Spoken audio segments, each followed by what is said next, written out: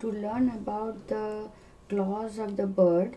Uh, it is very difficult topic uh, for the children to understand. So we have taken four straws four straws which are able to bend uh, properly.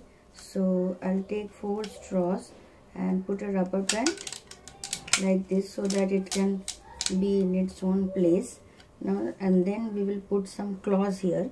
I have made it say it is having claws so if there are four claws here if I take three straw uh, three claws in the front and one at the back this will look like the claws of a perching bird.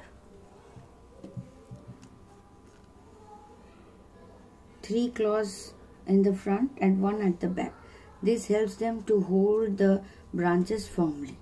Now if I take the same uh, thing and I just move two in the front and two at the back. It will be the claws of a climbing bird. Claws of a climbing bird is uh, two claws in the front and two at the back. So they can be able to climb uh, on the trees. Like for example woodpecker and parrot etc next is uh, say wading bird which are the birds which are able to move properly in the water.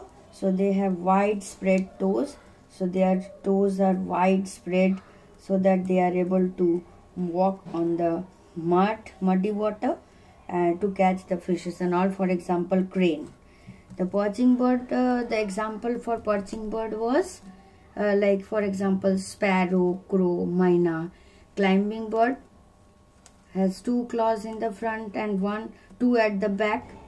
It is for the climbing birds for example woodpecker and parrot and the birds which has wide spread toes.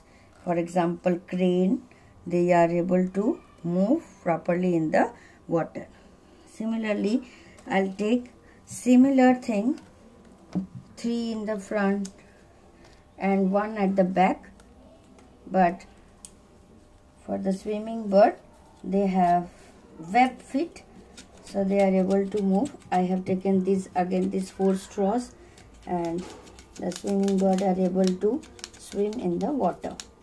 Uh, next there is a this is flesh eating birds and you can see again three claws in the front and one at the back but you can see the difference in their talons. These are called as talons. They are able to catch their prey and they hold it firmly even when they are flying. That's it. Thank you. So to